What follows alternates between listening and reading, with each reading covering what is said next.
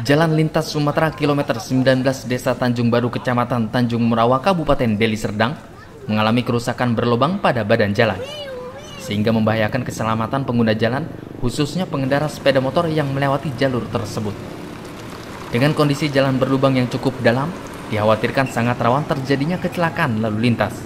Terbukti dengan telah terjadinya kecelakaan tunggal yaitu seorang pengendara sepeda motor yang datang dari arah kota Medan menuju Lubuk Pakam terperosok ke dalam lubang yang berada di tengah badan jalan tersebut. Akibatnya pengendara sepeda motor tersebut terjatuh sehingga mengalami luka-luka. Warga sekitar yang mengetahui kejadian tersebut segera menolong korban dan mengantar korban ke rumah sakit Medistra, Lubuk Pakam. Mengetahui kejadian kecelakaan lalu lintas tersebut, Kapolres Deli Serdang AKBP Edi Suryanta Tarigan langsung mengecek ke lokasi. Sesampainya di TKP, Kapolres Deli Serdang melihat kondisi jalan yang rawan laka lantas tak menginginkan kejadian serupa terulang menimpa pengguna jalan lainnya. Kapolres Deli Serdang segera memerintahkan Kanit Patroli Lantas Polres Deli Serdang Ibda Rasidin untuk segera mencari material menutup bagian badan jalan yang berlobang, sehingga tidak ada lagi pengendara sepeda motor yang terperosok ke lubang pada badan jalan tersebut.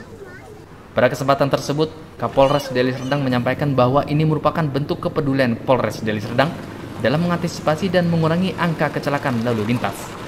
Dengan menutup bagian badan jalan yang berlubang menggunakan material, hal ini merupakan bersifat sementara.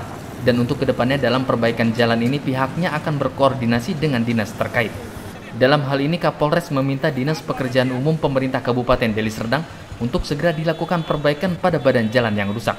Oh betul, sudah ada lubang besar tadi. Tadi sebelum kita ketemu saya sudah ke sini. Kemudian kita tanya sama masyarakat di sini.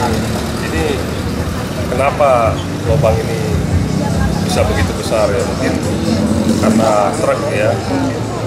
Banyak alat berat yang lewat di sini. Kemudian dari Polres sendiri melakukan langkah-langkah yang untuk sementara kita tutup. Tutup ya lubangnya. Uh, kita minta bantuan dari pengusaha-pengusaha lokal yang ada di sini uh, untuk galian dan aspalnya. Dari Sumatera Utara, tim liputan Tribrata TV, salam Tribrata. Kan